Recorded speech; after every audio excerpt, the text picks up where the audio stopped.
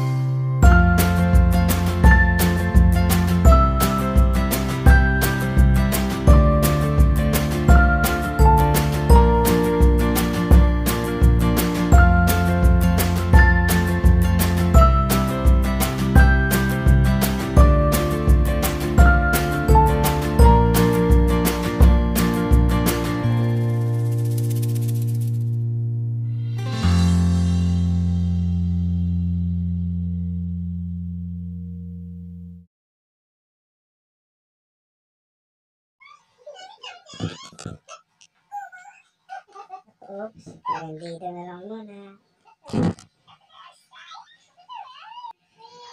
Thanks for watching.